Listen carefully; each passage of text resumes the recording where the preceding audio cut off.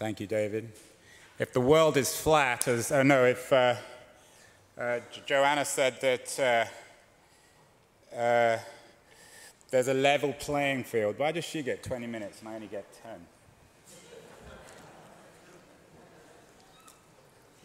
No answer. So, um, so it's nice to come after these three people, one of whom is telling us that technology is finally catching up with human behavior, although I don't know what she knows about human behavior. Uh, the second person who's developing technology for facial recognition, and this other person who seems to spend her life listening in and turning it into a profession, calling herself a social scientist, whatever that means. So I'm here to tell you something else. And I was saying to David, um, events are made by their location. Uh, in, the, uh, in Silicon Valley, they'll always tell you that it's made by the participants. That's garbage. It's made by where they're held. And this is a perfect location to talk about the social future. It's a perfect location to imagine that future because, of course, it's a place that has been reinvented brilliantly, innovatively. It's a place of one kind of network, a 19th century network that's been reinvented or is being reinvented as a 21st century network. Perhaps not a digital network, but something to go alongside digital networks. Whereas in the 19th century, uh, St. Pancras that uh, was first built in 1862, right at the heart or the height of the 19th century industrial revolution, uh, was uh, built in order to facilitate that physical network of the railway, which was the core network in the analog industrial revolution. Uh, now, uh, William Gibson said, famously, or perhaps not so famously, the future is the past, only better. And I would add that the future is the past, only better or worse. Because what we're seeing now, what these people were talking about, is the reappearance of the social. Joanna is confident, uh, as so many of this Facebook social crowd, that they're first to this social future. But the social future has happened before. We have experience of that social future, and unlike social scientists who aren't interested in learning from history, or entrepreneurs who don't know any history, that's perhaps why they're good entrepreneurs, um, we need to learn a little bit about history if we're to understand how that social future can be more successful than the previous one. We're living at a time of great fundamental change, equivalent in the middle to the middle of the 19th century. You remember Justin Timberlake, otherwise known as uh, Sean Parker in the social network. He was snorting so, some cocaine from a, a young woman's chest and also selling the idea of connectivity and transparency at the same time. And he said very famously, Aaron Sorkin's words, we lived on farms, then we lived in cities, and now we're going to live on the internet. And unlike so much entrepreneurial hype, that's true. We are shifting from an analog industrial network, the great industrial age, to a knowledge economy which is defined by its digital network. So when we say we live on the internet, of course we live in real life, but the virtual is real now. There is no distinction, there's no coincidence that Second Life is in the fucked company neighborhood of, uh, of TechCrunch or all these other sites. The virtual has gone away, or the virtual is real. So, what we're living through then is a profound shift, a profound revolution in the way we organize ourselves. And that's why the people who come before me are utopians for their own reasons, generally material but also idealistic. They believe that this new network, this new social infrastructure, can save humanity. I'm not so sure. There are two possible social futures, and you can find them one mile that way and one mile that way. Most of you are Londoners. I grew up here. I live in Silicon Valley now. But one mile that way, in University College, about a mile down the road, you can get the bus there, you'll find the auto icon of Jeremy Bentham, the founder of utilitarianism. He was the guy who also, like Joanna, believed that technology is finally catching up with human behavior. You can go and look at him now. He's a, he exists forever. He stuffed himself and left himself to, uh, to, to the human race because he believed he was very wise. One wonders whether Mark Zuckerberg will do the same thing eventually.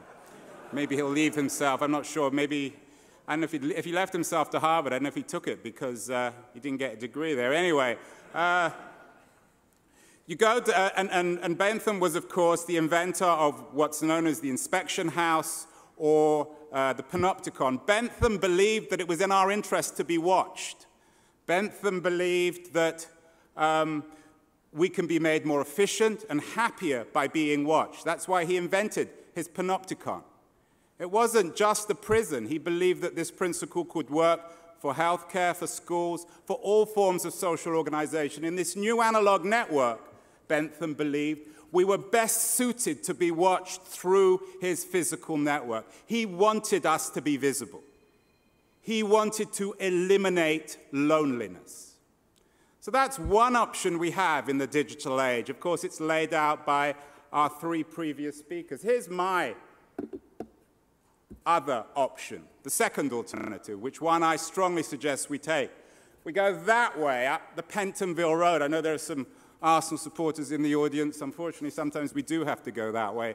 Um, John Stuart Mill was born in Pentonville. Uh, and he wrote a brilliant book called On Liberty in 1859. Mill was originally a utilitarian, a follower of Bentham. He believed ultimately that Bentham was fundamentally flawed in his analysis. I write about this in some detail in my book. But basically, Bentham, uh, sorry, basically, Mill was trying to protect individual autonomy, liberty, privacy, secrecy in the new age of the industrial network. So when you read a book like On Liberty, it was a protection of individual liberty in the face of this cult of the social, or at least the cult of the analog social, that was perpetrated by Bentham and many indu other industrialists in the 19th century. Zuckerberg isn't original in his cult of the social, but of course, in a sense, Joanna's right. He has technology on his side. Joanna referred to Zuckerberg's law. She called it Moore's law, but it's Zuckerberg's law. The idea that information about us will double every year. We are, of course, falling into the trap, the great seduction of using this new network to promote ourselves on Facebook, on Twitter, on LinkedIn, on every social network, from image social to social living there are hundreds of companies being founded with the name social. Everything is going public. Every or almost every new company coming out of Silicon Valley and London now is social. We are being seduced into going onto this digital network, this new world that, um, that Parker talks about, to reveal ourselves. It's supposed to be in our interest. We are promoting ourselves so that social scientists, and the guys at Facebook and all the other startups can benefit from our data. We are essentially becoming data in the 21st century, but we're not really profiting from it. That's my little reference to vertigo. My book deals quite heavily with vertigo, but that's Jimmy Stewart, of course. And he was seduced by a woman, a blonde, who actually was a brunette. Uh, and that, of course, is the rather facile, vulgar uh, metaphor that I'm introducing here. We seem to be seeing the blonde, and there was even a blonde here just earlier. Um, but what we're really seeing is the brunette. What we're really seeing is a kind of fake, a seduction that will destroy us rather than make us. I went up the Acropolis a few weeks ago after David and I go to the WPP Stream event, and all I found at the top were people photographing each other. That's a wonderful example of what I call digital narcissism. Social media is digital narcissism. We've invented this technology. Joanna says technology is finally catching up with human behavior. I'm not so sure if that's true. Technology is changing human behavior. Technology is changing it in a way in which we are using it to promote ourselves, from our photographs to our taste, to what we're playing on Spotify or SoundCloud.